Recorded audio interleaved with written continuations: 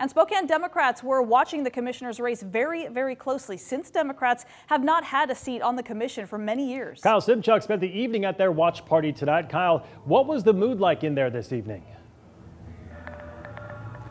Mark, the party started to die down a little bit. We actually had to move out of the ballroom because there is a very loud band playing. You probably wouldn't be able to hear me if we were in there, but there was a lot of cheering, a lot of excitement when those initial results came out around 8:15. And as you mentioned, a lot of people here keeping a close eye on the county commissioner races. That's because there's two new seats up for grabs, two new positions on the ballot. Democrat Chris Jordan uh, leading his challenger. Here's what he told the crowd earlier. My campaign in District 1 was always about new voices at the table, building a strong middle class in Spokane, and a community where everybody belonged.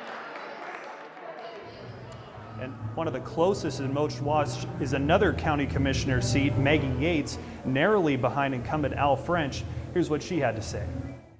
As you know, we are in a very tight race in the 5th District for County Commissioner. Right now, uh, we are separated by less than 600 votes, with more than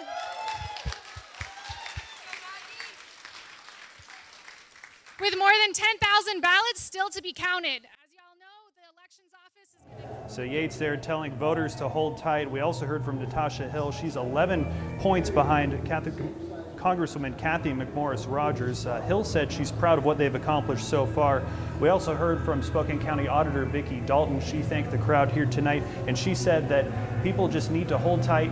And uh, really, on Friday is when we'll first start to get a good picture of, of what these results will look like. Still, a lot of ballots left to be counted again. These are just the initial results. I'll send it back to you.